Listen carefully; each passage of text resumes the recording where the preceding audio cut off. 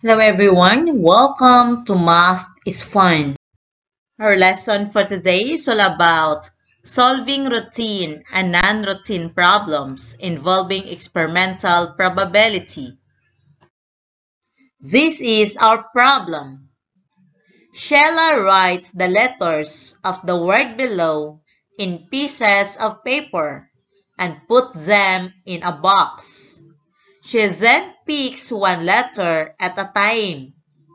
What are the possible outcomes? Find the probability of drawing M, a vowel, and a consonant.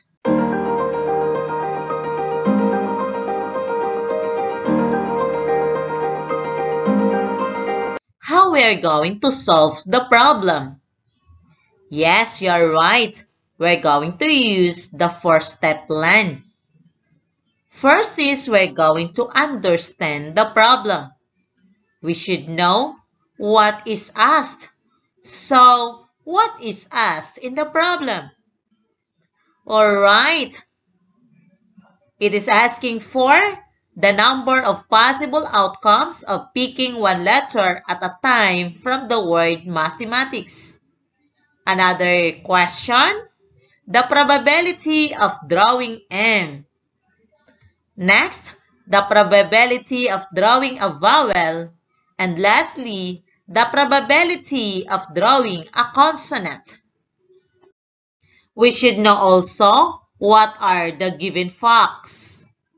Given the letters of the word mathematics to put in the box. The next step is we're going to make a plan. What strategy can we use to solve the problem? So in this problem, we can do an experiment of drawing a letter from the box.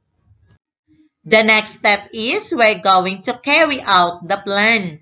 Let's solve the problem. So for the first question, since the word mathematics has 11 letters, then there are a total of 11 possible outcomes. So our answer is 11 possible outcomes. For the second question, there are two favorable outcomes when drawing M. We have two letter M in the word mathematics. So, the formula in finding the probability of drawing M is P is equal to favorable outcomes over total possible outcomes. So the favorable outcomes is 2 and the total possible outcomes is 11. Therefore, the probability of drawing M is 2 over 11. For the third question, there are four favorable outcomes when drawing of vowels. We have four vowels in the word mathematics. A, E, A, and I. So, this is our formula in finding the probability. P is equal to favorable outcomes over total possible outcomes. So, for our favorable outcomes, it is 4 and the total possible outcomes is 11. Therefore, the probability of drawing a vowel is 4 over 11. And for the last question, this is our answer. There are 7 favorable outcomes when drawing a consonant. The consonant letters in the word mathematics are M, T, H, M, T, CS. So we have seven favorable outcomes. Then we're going to use this formula. P is equal to favorable outcomes over total possible outcomes to find the probability. So the favorable outcomes is 7 and the total possible outcomes is 11. Therefore, the probability of drawing a consonant is 7 over 11. Okay, we already solved the problem. And the last step is we're going to check.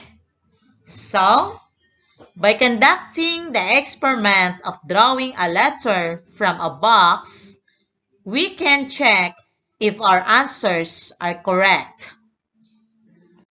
This is our second problem.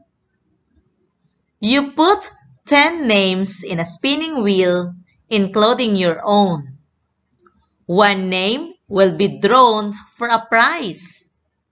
What is the probability that your name will be drawn if your name is in the spinning wheel only once? To answer this problem, we're going to play in a spinning wheel. Watch and observe how it works.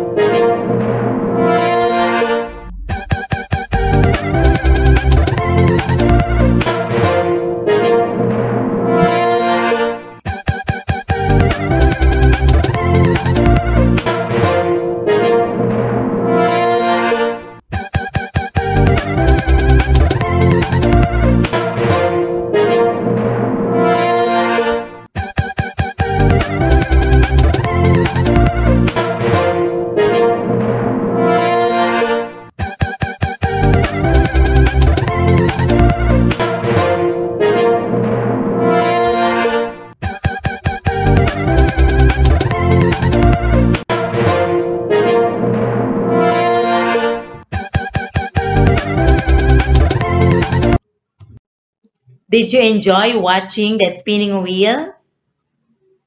So let's answer now the problem. And this is our solution.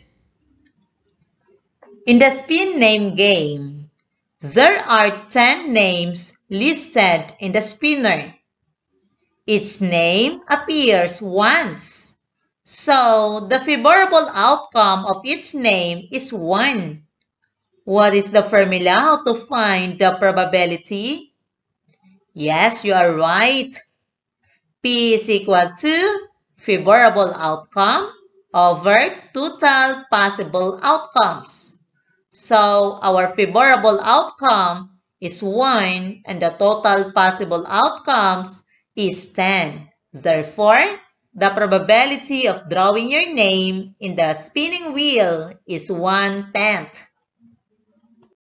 I hope that you understand our lesson for today and thank you for watching.